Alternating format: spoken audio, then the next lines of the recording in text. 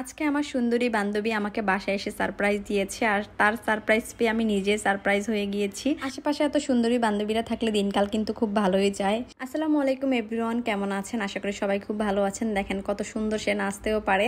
আসার সময় সে আমার জন্য এখানে ডাল বুট নিয়ে আসছে। এটা অনেক মজা ছিল, এটা আমরা খুব পছন্দ করি এবং বাইরে গেলে তো মাস্ট খাই। এই ছোলা বানানোটা আমরা সব সময় হচ্ছে লঞ্চে খাওয়া হয় বেশি। লঞ্চে যখন যাই তখন আনলিমিটেড ছোলাবাজি খাই।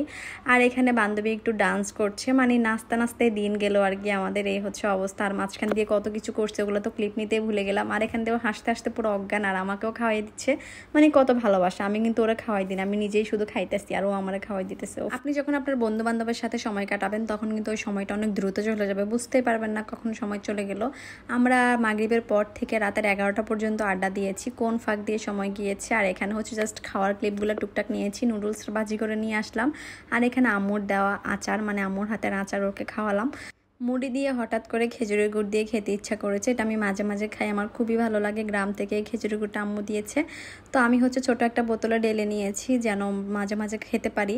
কারণ একসাথে অনেকগুলো পড়ে যায়। আর এখানে মুড়িটা নিয়ে আমরা খেজুরের গুঁড়োর উপর দিয়ে দিয়ে দিয়েছি। আর এটা মিথিলা খুব পছন্দ করেছে। আমারও খুব ভালো লাগে। এটা কিন্তু নারিকেল দিয়ে খেতে আরও মজা। সব কিছু হচ্ছে জিব্বার স্বাদ ভাই। জিব্বাতে সব কিছুই স্বাদ লাগে। শুধু খেতেই হয়। আর এখানে আমার বান্ধবীর খুশি দেখে আমি নিজে হাসতে হাসতে অজ্ঞান হয়ে যাচ্ছি। মানে আমরা একটু ঘুরতেছি আর নাচতেছি, আবার হচ্ছে গল্প করতেছি, খাচ্ছি। এভাবে যে কোন ফাঁক দিয়ে আমাদের সময়টা চলে গেল। আর এখানে আমি আজকে খিচুড়ি রান্না করেছি, সাথে হাঁসের মাংস রান্না করেছি। তো ওকে হচ্ছে খাবারটা দিয়ে দিলাম রাত্রেবেলা খেয়ে নেক। আর এর মধ্যে তো আমরা গল্প করতেছি, কারণ ভাইয়া কিছুক্ষণ পর নিয়ে যাবে ওকে।